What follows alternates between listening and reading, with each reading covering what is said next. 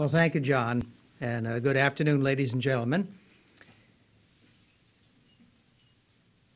There were two bills at National Review and in the conservative movement.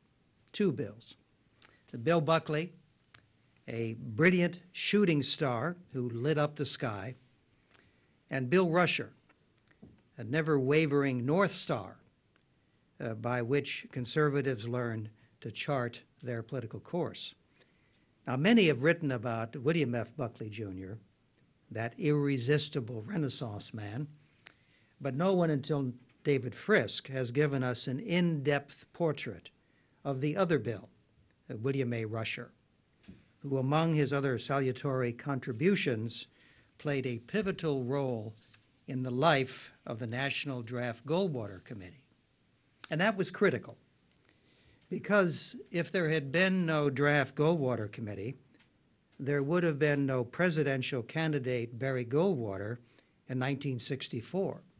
And if there had been no candidate Goldwater in 1964, there would have been no president elect Ronald Reagan in 1980. It was Goldwater, you see, who approved Reagan's famous A Time for Choosing television address, which made Reagan a political star overnight and led to his running for governor of California and eventually president of these United States.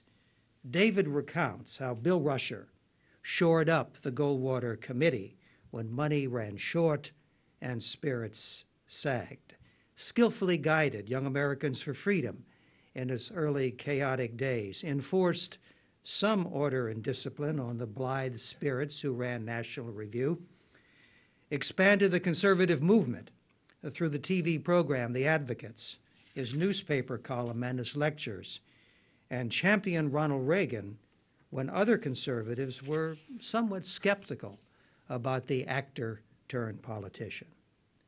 Bill Rusher loved American politics, rare wines, traveling to distant lands, and National Review's effervescent editor, Bill Buckley, of whom he once said, quote, the most exasperating people in the world are so often the most beloved, and he is no exception. Now, David Frisk has captured all of this and more in this splendid, overdue biography of the other Bill, Bill Rusher. Dr. Frisk is a former award winning reporter who received his PhD from Claremont and will be teaching this fall those lucky students at the Alexander Hamilton Center in New York. Ladies and gentlemen, please join me in giving a warm heritage welcome to Dr. David Frisk.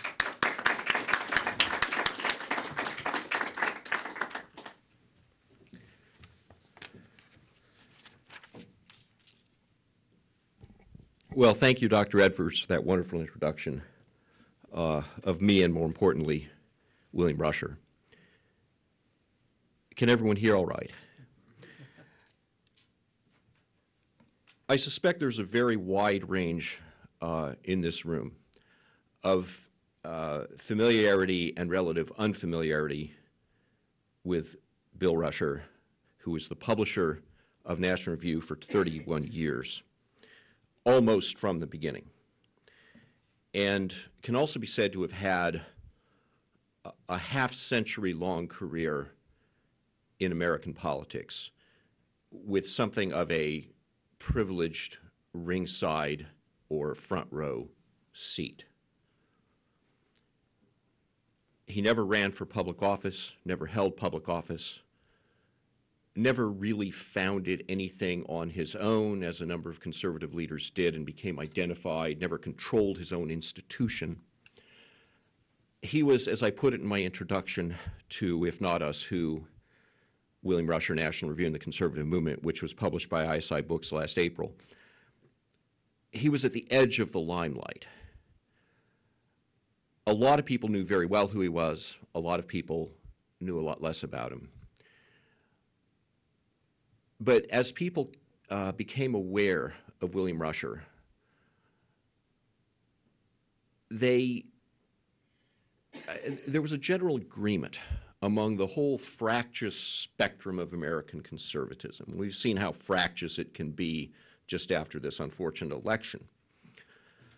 There was a wide agreement libertarians, traditionalists, purists, pragmatists that Bill Rusher really knew what he was doing. One of his great achievements was to give movement conservatives uh, from, I would say, the early 1960s right up until the 1990s, by which time he had semi retired,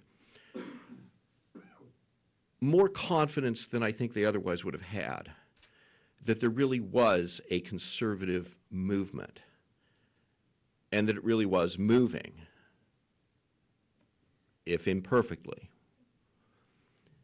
We've seen in recent years a lot of um, doubts about whether the conservative movement still exists anymore. Some people even doubt whether it deserves to exist anymore, whether it's destroyed itself. Well, there, there have been people all along who have said things like that. One of the things Rusher stood for most prominently and enduringly was uh, the belief that, that we conservatives all had to pull together and all had to be together and keep being together. Uh, you know, the most obvious cliche that comes to mind, and he would have put it more articulately and, and more memorably, is, is to not, not let the perfect be the enemy of the good, uh, not miss the forest for the trees. These are not the most uh, innovating or exciting sort of messages, but it's very important to have a few people at or near the top of the conservative movement's leadership who believe in and preach these things and who uh, ask people, ask their, their fellow activists and, and conservative intellectuals to remain focused on the need to win a majority of the American people and to govern.